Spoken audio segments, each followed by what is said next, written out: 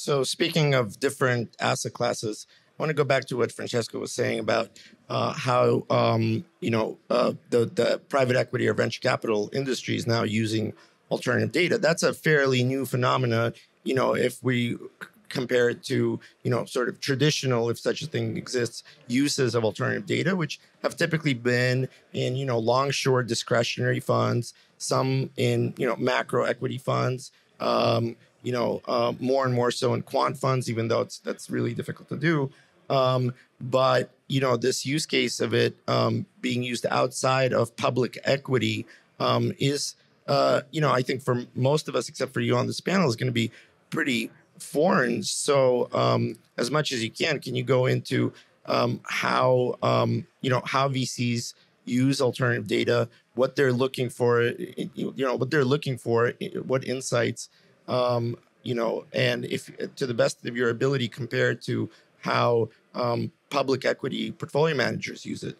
Um, so you're right. It's a it's a kind of a new thing, um, depending on like the funds that you're speaking about and the time frames that you want to look at. It's definitely not like a 25 years trend. It's a, it's more something that pop up like in the last 10 years or so, um, different degrees of intensity.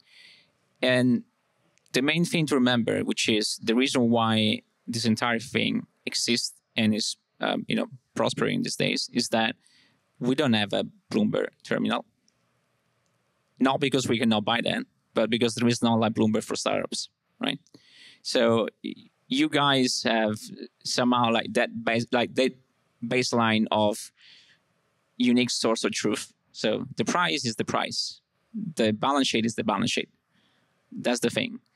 For startups, eh, eh, you know, there are data sets that are better than others, but there is not like that unique thing that you can open like every single morning and get an entire snapshot or picture of one company. So the the main reasons for these providers to exist is that they need to fill those gaps. And those gaps are not going to get filled for the first stages of the company for the first few years. So different providers find different ways and different proxies to optimize for specific apps, which is why you buy different data sets, like in the first place. Um, I, ca- I cannot really speak for PEs because P- like PEs is a different type of business and way of working. For venture, if you if you structure the venture process in four or five different steps, you have sourcing, screening, due diligence, trying to win investments and post investment support, right? Different funds do different things. The majority of the people use alternative data for sourcing and for screening.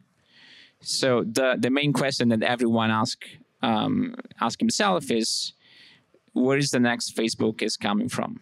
What do I need to invest next? Clearly, again, all these models are probabilistic models. No one tells you like the truth 100%. You still need to make like a, you know a call on that specific company, market, product. Um, but the majority of people, there are people that are using it to help more portfolio companies, people that use it to win a deal, people that, especially these days with GPT and LLMs, blah, blah, blah, the there has been investors that have been like using it for due diligence purposes, right? Especially if you are like a smaller fund that cannot like afford an army of like 10 associates, you try to make some of those things like in a streamlined fashion with GPT.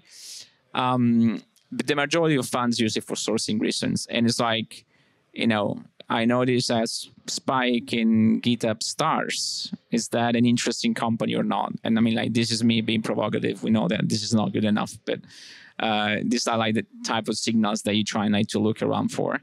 And again, you identify the company, and somehow you have ways to surface specific companies versus others. Um, but that that's like the main use case that you usually get asked to when you, at least when you start this process, right? The moment that you understand that you build the um, the different use cases, you understand like the value in data, blah blah blah. You start doing more and more things on top of it. But usually there's like you know day zero, it's like, okay, you have like five different data sets, uh, 100 variables. Find me something. Speaking of alpha decay, I wonder how many people uh, from the audience will walk away and everyone have the access to the same panel with an idea, oh, Bloomberg for startups. That's something that we should build.